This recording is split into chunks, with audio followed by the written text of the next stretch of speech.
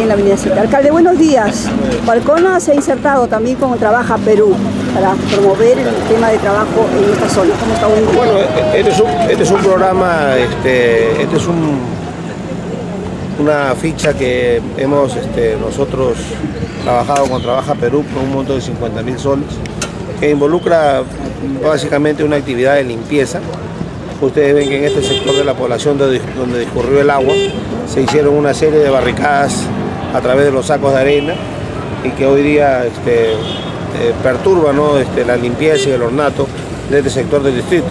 Así que esta es la finalidad y a la vez erradicar también cualquier tipo de foco infeccioso que vaya en contra de la salubridad de la población. ¿Cuántos puestos de trabajo se ha generado?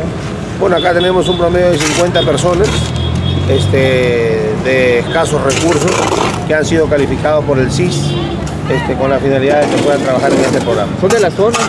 Todos los trabajadores son de la zona. ¿sí?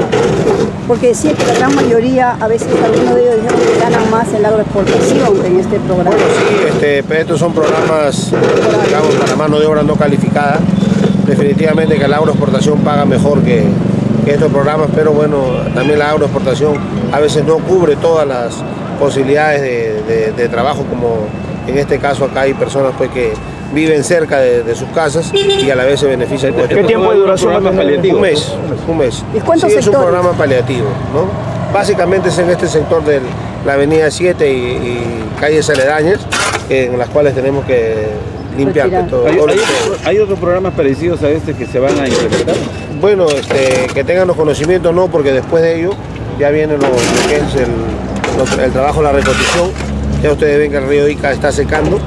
Va, va- va a haber una evaluación integral para ver, por ejemplo, en el caso de Parcona, cuáles los metros lineales de muro que vamos a reponer.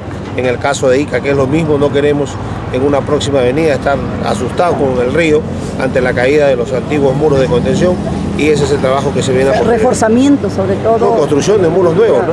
Porque ya ustedes ven que en el caso de, de nosotros este, tenemos más o menos más de 300 metros lineales que tenemos que reponer. ¿Y ya lograron coordinar con la Tinguiña para hacer este trabajo definitivo en Kansas? Bueno, el trabajo en, en la Tinguiña es, es básicamente lo que es el enrocado de la, de la quebrada de Kansas. de Kansas y este, el sector de desaguadero, ¿no? de Chanchajaya, que es la zona que perjudica al distrito de Parcona cuando se rompe. ¿no?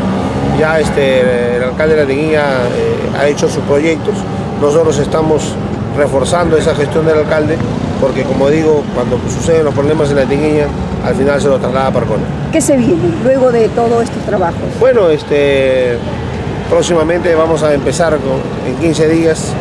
este, se inicia lo que es la colocación de los postes de las cámaras de seguridad.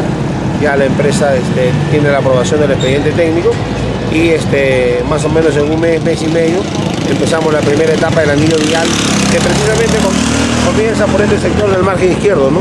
Este, vamos a hacer el tramo Uterbo eh, con el final de, de Chinarro, que es jurisdicción de los Aquijes, la avenida 8 y parte de, de otras avenidas pequeñas. ¿Y cuánto se va a invertir en ese anillo? 4 millones 800 mil soles.